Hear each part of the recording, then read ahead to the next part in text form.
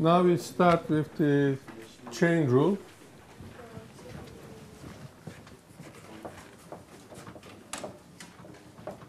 So why we need this?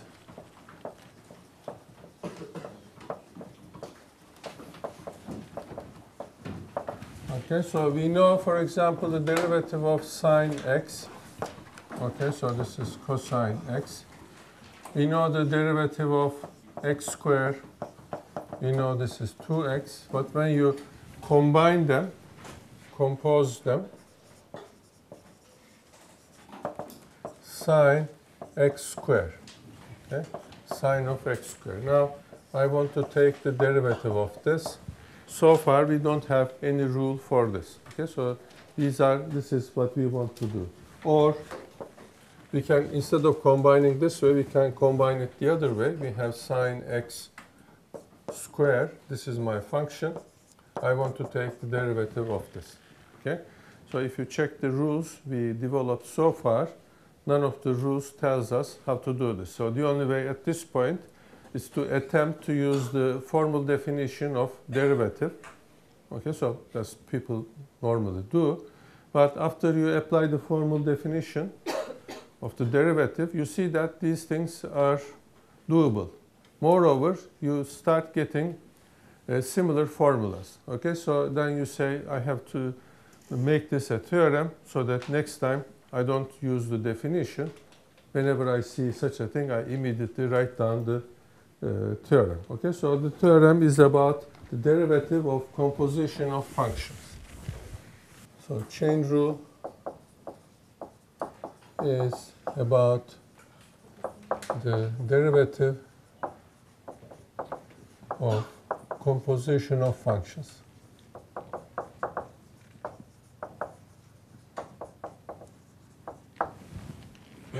So the picture will probably be something like this. Here you start with x, you go with f, let's say, okay, to some other word, and from here you have another function which takes you to some other word. Okay, so suppose this is your point x sub 0, then it goes to f of x sub 0, okay, and this function takes you to g of f of x sub 0.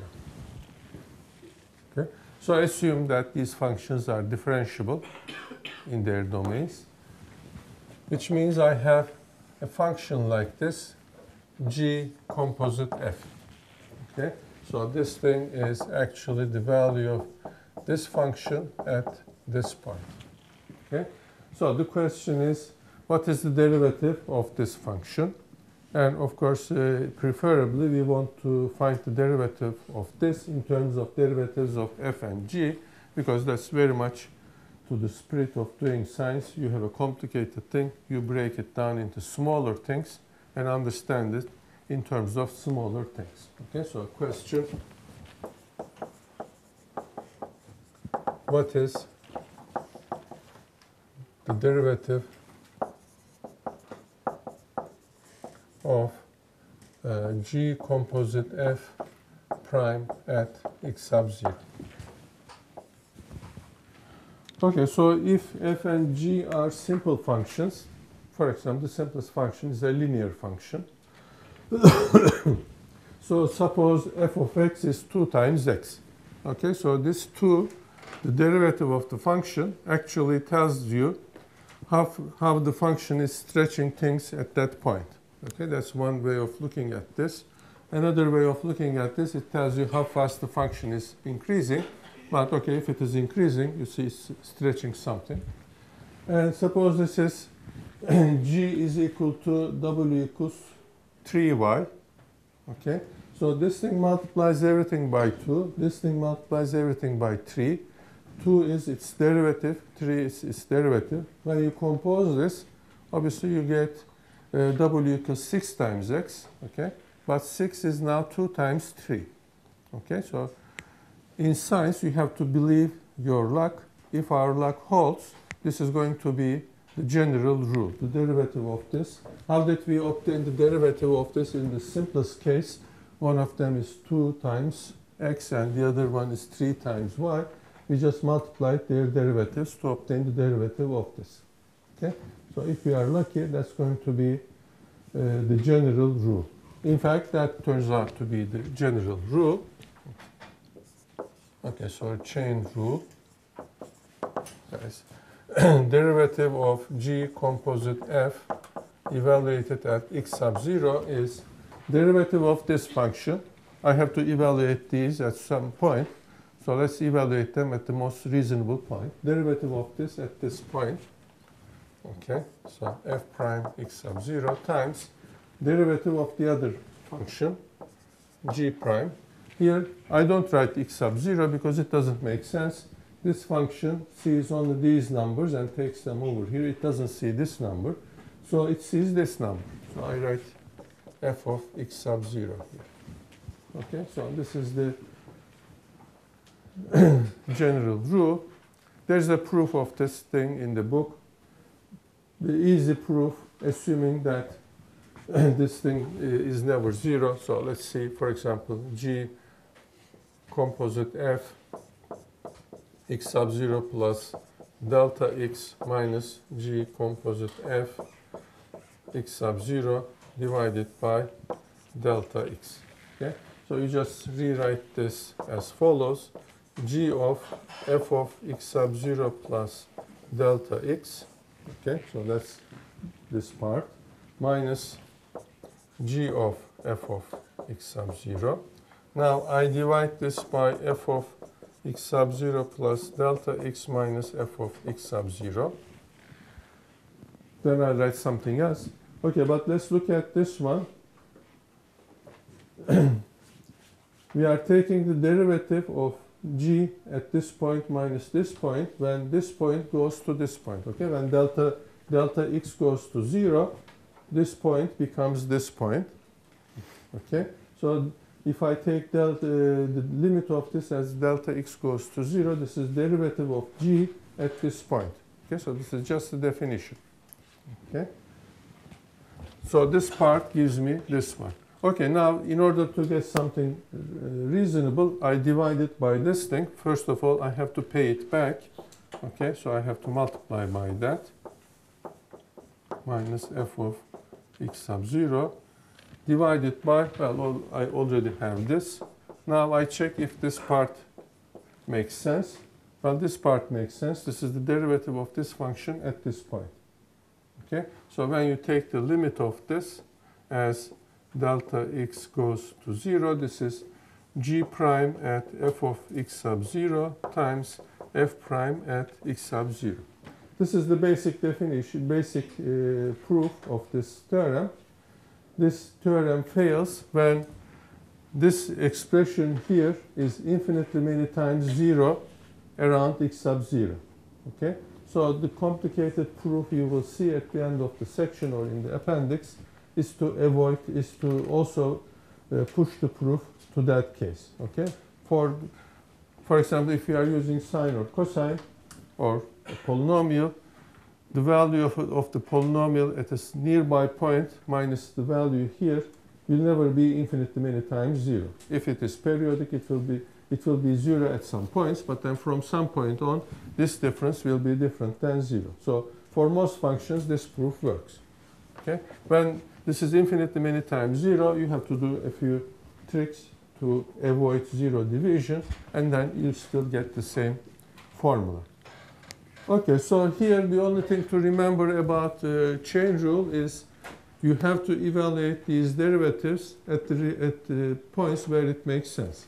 Okay, just because in the beginning I want a derivative of something at x sub 0 and I remember that chain rule is product of the derivatives, I don't evaluate all of them at x sub 0 because you see, that's why I drew this picture. Derivative of this at x sub 0 doesn't make sense. Okay, so you just evaluate this. We can also do the following. Instead of having two functions composed with each other, we can have even, we can write the following. Suppose I have f composite g composite h evaluated at, well, the derivative evaluated at x sub 0. Okay? So this one doesn't need a new rule. I can use this because now I can do this as f composite g composite h derivative at x sub 0. Okay, so now I apply chain rule to these two functions. Derivative of this evaluated at this point, this function evaluated here, g composite h at x sub 0 times derivative of this function evaluated at x sub 0. Okay. Now this one is again a problem for chain rule. Okay, so I rewrite this. This thing now f prime g of h of x sub 0. Okay, so I'm just opening this up. This one is direct chain rule now. G prime evaluated at where it makes sense times h prime evaluated where it makes sense. Okay. so you can you have sometimes sometimes you start writing this from here to this. It's called from inside out. Okay. You start with the derivative of this times derivative of this evaluated here times derivative of this evaluated here times derivative of this evaluated here. This is going from inside out or in this case I did it from outside in. You have to choose one way. Of course, if you want to be funny, you can write this in complicated form, but make sure that you write all of them there. Okay, so let's go back to the example we started with. So our example was how do you take the derivative of sine x squared and sine square x? Okay, so I'm combining. You see that f composition g and g composition f are two totally different things. Okay, so using chain rule here, let's go from outside inside. Derivative of sine is cosine evaluated at what I see here Okay, so this is 1 times the derivative of inside. Derivative of x squared is 2x. Okay, so that's where I have it. Or you go from inside out, you say derivative of x squared is 2x. Now derivative of sine is cosine at this point. Okay, so let's do this one. So here the outside function is square. The last thing you do is square. So derivative of square is 2 of what you see here times the inside thing is sine x. Inside this is cosine x. Okay. For example, we can have sine cube x to the 7 derivative. Okay. Now derivative of cube is 3 sine square x7. Okay, so I have my variable here is sine x to the 7. Say it, call it y. y cube, derivative of y cube is 3y square. Okay, so this is the first part. Okay, times, now I, I have to take the derivative of sine x to the 7. Again, composition. Okay, so now I am here. Derivative of sine is cosine cosine x to the 7. Now the inside function, x to the 7, derivative of that is 7x6. Okay? So if you get used to it, this is just taking derivatives one after another. No, no, nothing complicated. Okay? So let's do one example here.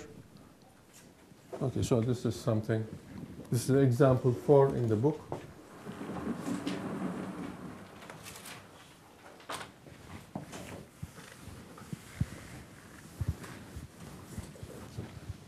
Okay, so another problem. f of x is 1 over cube root of x squared plus x plus 1. So we want to take the derivative of this. Okay, so it's easier if you write this as x squared plus x plus 1 to the power minus 1 over 3. Okay, now I take the derivative of this. Okay, the outside function is something raised to a power. The derivative of this is power times something raised to the power minus 1. Okay, so I write this minus 1 over 3 x squared plus x plus 1 to the one, power 1 over 3 minus 1. Okay, so I took the derivative of the power function times the derivative of inside. So this is inside, this is derivative of this is 2x plus 1. Okay, so now if you are in the exam, you simplify this because you'll probably put values in, into this later. And there is a funny example in the book. Let me find that. Sine of cosine of tangent x. Okay, so let's do that one. f of x is sine of cosine of tangent x.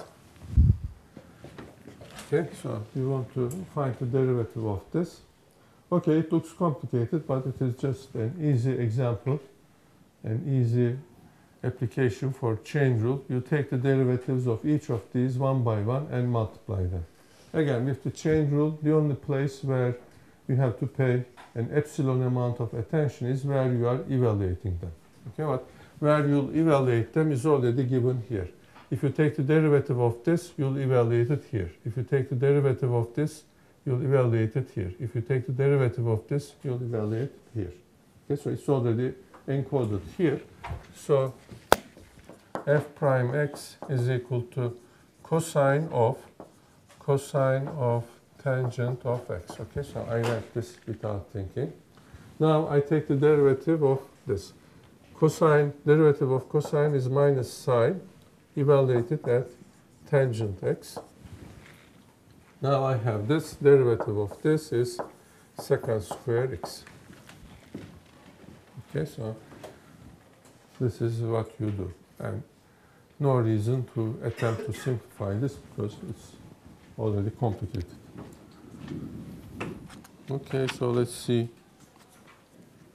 if we have an interesting exercise.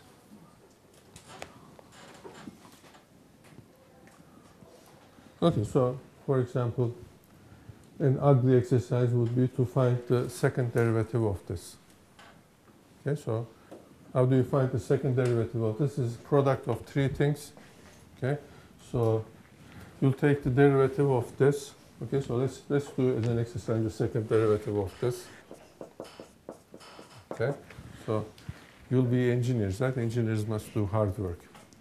Okay, so the derivative of this times all of this plus derivative of this times this and this plus derivative of this times all of these. Okay? Okay, so the derivative of this. Okay, so this is chain rule. Derivative of this is minus sine, minus sine of inside, cosine tangent x. Okay, so let me do it this way. Times derivative of inside is minus sine tangent x times the derivative of this secant square x. Now I multiply this with these. minus sine of tangent x secant square x. Okay, so plus I have this cosine cosine tangent x Okay, so this is one big thing. Now I take the derivative of this part. Okay, so I'm taking the derivative of this. Okay, so this is minus cosine tangent x times derivative of tangent is secant square x. Okay, and I multiply it with secant square x. Okay, plus now I have this times this cosine cosine tangent x so this is one thing times minus sine tangent x. Now I take the derivative of this okay? So again chain rule square function to secant x. Times derivative of secant is what was it? Secant x tangent x. Okay Now evaluate this at pi, pi over 3. Okay, so this is uh, chain. So let me see, check if there's an interesting problem here. Well, these are all Mozoistic problems. So let's see here. Uh, okay, well, all, of the exercises, all of the problems are mechanical applications of this. Okay, so you, you take derivatives and multiply them. Okay, so let's now pass to implicit differentiation, where I'll do an example.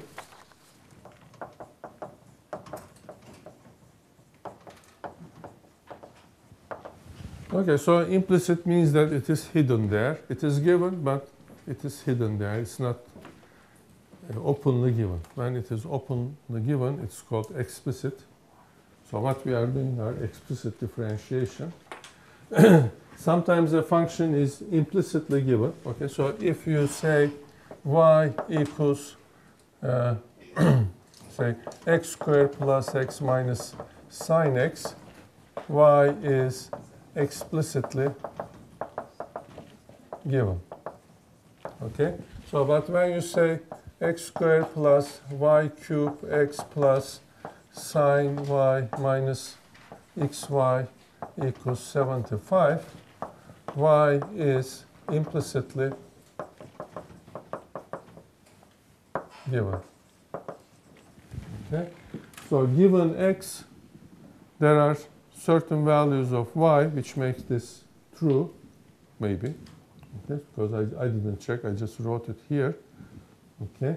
And in this case, there are, in, in general, when y is given like this and it is not linear, if y is linear here, then even if it is given implicitly, you can solve y easily, okay. If it is square or cubics, then you can solve, with squares, you can solve them easily. With trigonometrics, you don't have any hope. Okay.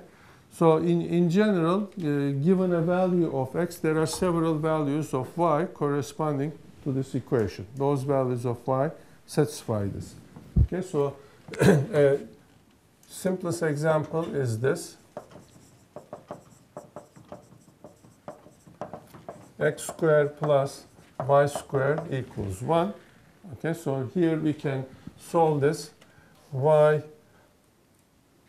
is equal to square root 1 minus x squared and y equals minus 1 minus x squared. Okay? So actually there are two functions. Given a value of x, there are two values. Okay? So we have this usual square here. So this part is one function and this part is the other function. So when we talk about uh, this uh, function given an x, we have we see two graphs there. So given this x, what's the slope of this curve is not a well-defined question because we have two different curves and we have two different slopes corresponding to that x. Okay, so normally in these problems, what we are interested in is we choose one of these branches. Okay, so suppose we are interested only in this part, which means we are interested in this one. We choose a point on here okay? Because normally we can't solve for this one, so we don't see these equations, okay? But we know that such a formula will give us several curves uh, at a point. So if I choose this point, there will be several things. We'll choose this particular point, okay? So you'll check that this x sub 0, y sub 0 satisfies this equation.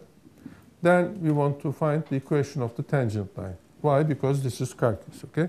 So if this was a history course, then given this point, we would be interested in when Hannibal passed through that point, okay? But this is calculus, so the only thing we are interested in is in derivatives. So given this point on the curve, what is the slope of the curve at that point? So technically, what's the derivative of the function at this point? So with implicit uh, implicit differentiation problems, the problem will not be find y prime when x is equal to x sub 0, because then y sub, you see, the in order to find this, you have to know exactly what point you are talking about. So the question would be find y prime at the point x sub 0, y sub 0.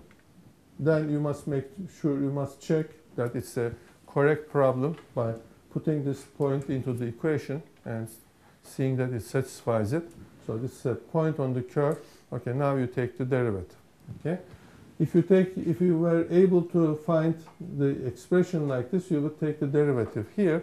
But here, what you do is you do uh, an application of chain rule. Okay, because here I have combination of two functions. y is a function of x, and then the square function is combined with this. I take the derivative of this combination, 2 times y.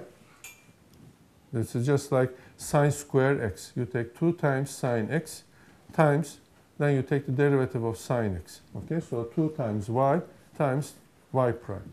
Okay, so that will be that will be the way to attack such problems. And you see, at the end of the chain rule, I get y prime. There is no squaring the y prime. So the equation I get will be a linear equation in y prime, which is easily solved. Okay? So y is a function of, of x. y square is a composition. For derivative, for its derivative, we use chain rule. Okay, so y square derivative is you take you take the derivative of the square function 2y, then you take the derivative of the inside function. Okay, so this is just like f of x square derivative. This is 2 f of x times f prime x. Okay, so when we write it this way, it's obvious. So it's the same thing here, except that Uh, the dependence of y on x is not explicitly written there. So this is actually y of x. Okay, so for example, here, if we have x squared plus y squared equals 1, implicit differentiation will give me 2x plus 2y y prime equals 1. You see now this is, as I claimed, a linear equation in y prime. Okay? So no, no matter how complicated an expression I have here involving y, at the final stage of the chain rule, I'll take y prime. So there will be only one y prime, not multiplying any other y prime. Okay? So the equation will always be a linear equation. So you solve for this one. Well, this is 0. Okay, so this is y prime is equal to minus x over y.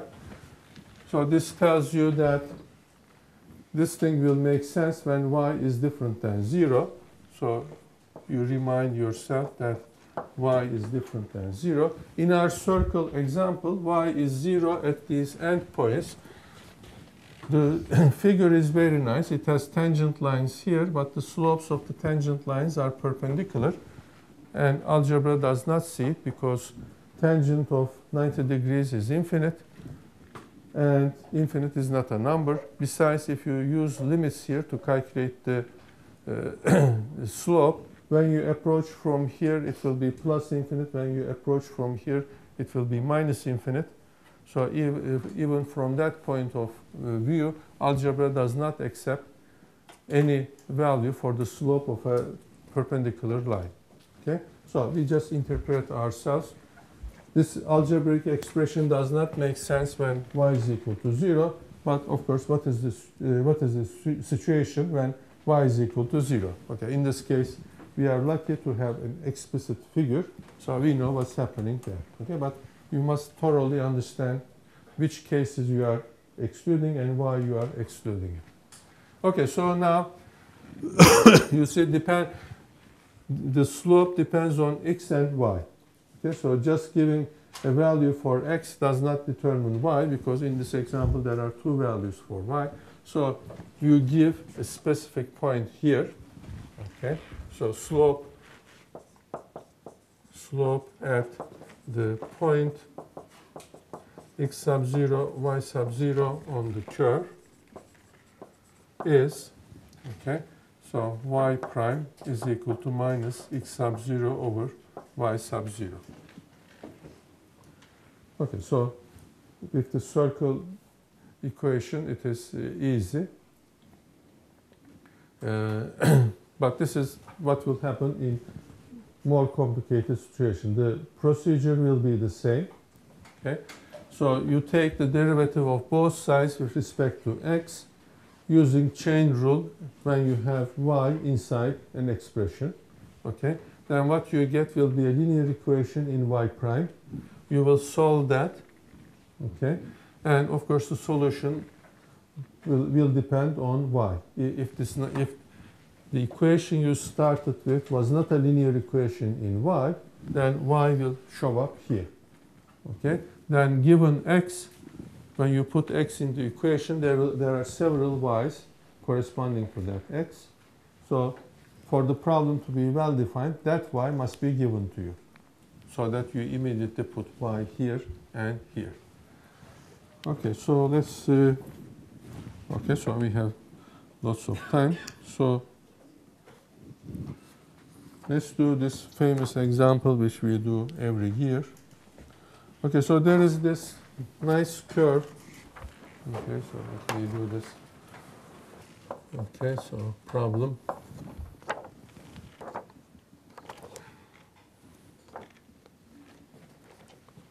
Okay, so we have equation. Consider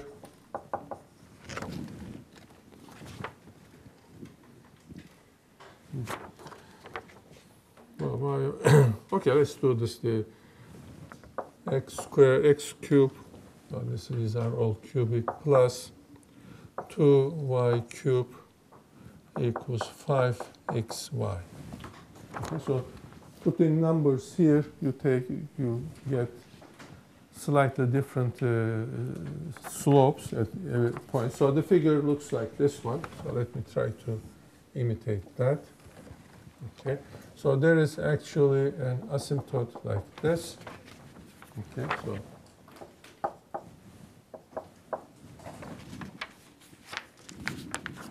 and the curve comes asymptotically like this. The curve is tangent here, there's a loop here, and then the tangent line is perpendicular here, and then it continues like this asymptotically. Okay, so this is the shape of the curve, more or less. Okay. So we can calculate the uh, derivative of this at some points. You see, when you calculate the derivative, it's y prime, write an expression for y prime. When x equals 0, you will get undefined expression because here we have two tangents. One of them is perpendicular, the other one is horizontal. And somewhere in between, you will also have an undefined uh, derivative because you see somewhere here we have a perpendicular tangent. Okay, so that's what we expect. And this thing is symmetric, so at the tip of this thing you have a tangent line with slope minus 1. Okay, so y, y equals minus 1 plus something because it passes somewhere from here. So these are what we are expecting. So let us at attack this problem and find its derivative. Okay. So the problem, actual problem is find the second derivative of y respect to x evaluated at the point xy equals 2, 1. Okay, so you see the problem doesn't tell us the problem doesn't ask us to calculate the derivative at x equals uh, 2 because at x equals 2 we have several in this case okay in this case 2 is somewhere here so this is 2 okay so we have you see we have three points corresponding to x equal 3 so one of them must be chosen i think we are choosing this one so this one is this point is 2 1 Okay, let's check if that's really 2, 1. Okay, what is the cube of 2? 8. So check, checking is 2, 1 on the curve. Okay, cube of 2 is 9, right? What is 8 plus 2 times cube of 1 is 1 is equal to 5 times 2 times 1. Okay, so it checks. Both sides is 10. Okay, so this number, this point is on the curve, and we have a tangent here. The tangent line will have positive slope according to this. Okay, so then it becomes infinite, and then it, it starts to become negative. Okay. and what are we doing now? Okay, so let's first take uh, implicit derivative. Okay, so next, find y prime. Okay, so let's start with this. So the, we differentiate both sides of the equation with respect to x, and when we see a term in y, we differentiate it using chain rule. So this process is called implicit differentiation. 3x squared plus 6y squared times y prime. Okay, so that's I apply chain rule here equals 5x, uh, well, derivative of x is 1, so 5y plus 5x y prime. Okay, so this is the first derivative.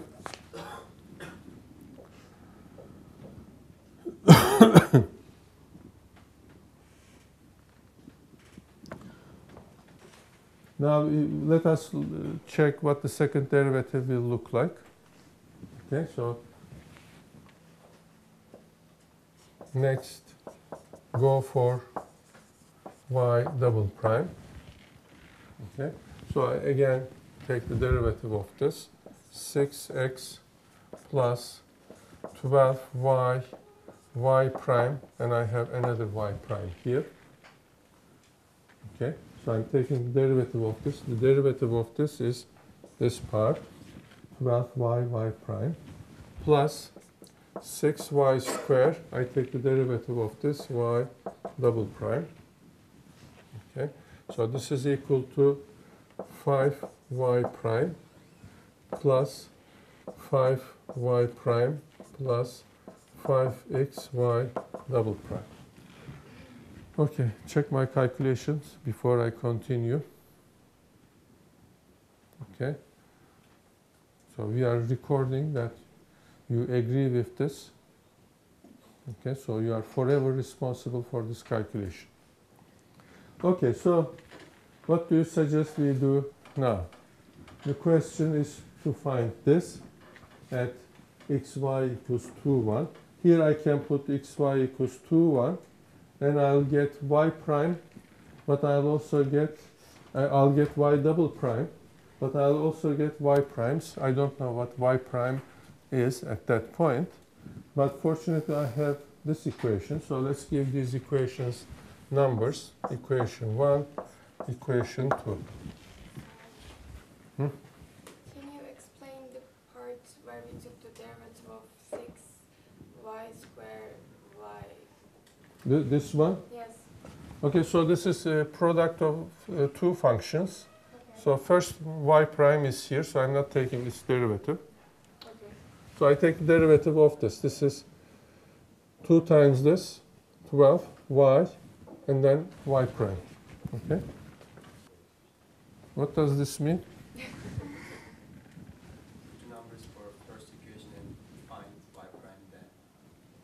then put them here. Okay, so that looks like the most reasonable thing to do. Okay. Here, the only unknown is y prime when I put 2, 1 for xy. So I solve y prime here. Okay, so now I have a number for y prime. I come here, I have numbers for x, y, and y prime. The only unknown is y double prime, and the question was to find y double prime. Okay. So, okay, so let me write here, put x, y equals 2, 1 in equation 1 to find y prime equals, okay, so you, what do you find y prime?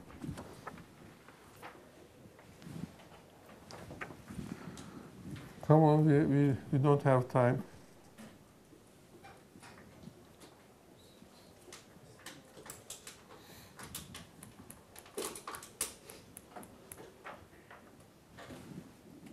So I'll ask, uh, I'll ask Emre abi to cut these thinking parts. I'll ask the question, you think for 10 minutes, he'll cut it, and then you immediately answer.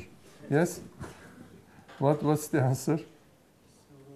7 over 4 without the question mark. Okay? 7 over 4. Okay? Next, put xy equals to 1 and y prime equals 7 over 4 in equation 2 uh, and to find y double prime equals 125 over 60. Why are you so unhappy? 125 over 60. Okay. So this is, uh, you see the procedure is simple. What we missed here technically is we didn't we didn't check if these derivatives really exist. We mechanically took the derivatives. So most such problems will say that assume that these functions are differentiable. Okay, so there's a theory behind this telling you that these functions will be differentiable when certain things etc. Okay, so but that's differential geometry. We don't enter there. So the questions in, in such questions will we are interested in uh, seeing whether we can apply this technique here or not. So we'll assume that everything is differentiable. If the derivative is asked, we'll assume that it exists. Okay, so that's all for today. On Friday, we'll solve problems and we'll have our new quiz. Okay. Okay.